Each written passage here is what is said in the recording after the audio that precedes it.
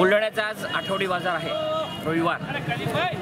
आणि भाज्या खरेदी करत असताना आज जे एकदम बजेट जे कोलमडलं आहे ते कांद्याच्या भावामुळे.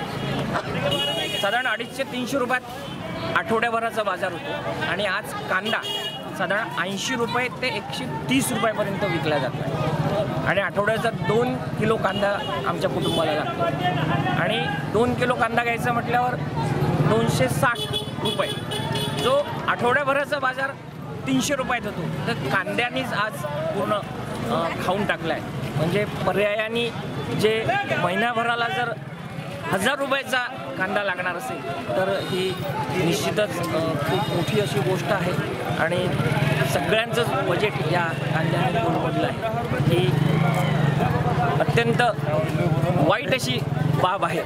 कारण फायदा कोणाला होतो हे महत्त्वाचं नाही. पण एक जीवनावश्यक वस्तू म्हणून कांद्याचं हे स्वयंपाकात आणि एकूणच सगळ्या रेसिपीमध्ये महत्त्व आहे. त्याला अनुसरून याच्यावर काहीतरी निर्णय होणं हे गरजेचं आहे.